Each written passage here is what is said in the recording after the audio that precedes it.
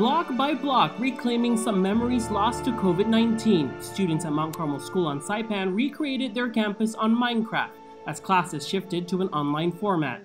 Computer science teacher Filma Buenaflor says eight students came together. Because they volunteered this, we will do the virtual um, my, uh, my, the virtual Minecraft campus tour for Mount Carmel School. So I said, okay, go for it.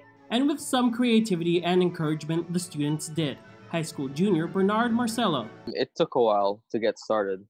Uh, my role was to lay out the buildings, and I was able to lay out everything from using a satellite pictures or pictures from Miss Buenaflor. They paid attention to every corner, tile, and detail. Fellow builder Nate Kunanan. I showed my uh, brother and my mom and my sister, um, like the whole the whole thing, and they were like, "Wow, dude, that's your school."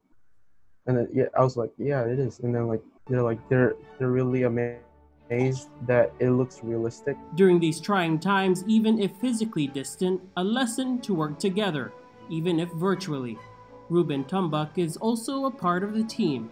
My role was to fill in like the walls of the buildings and do like commands to like move things around and filling in each block filling a void until their in-person class is back in session. Tomas Manglotnia for KUAM News on Saipan.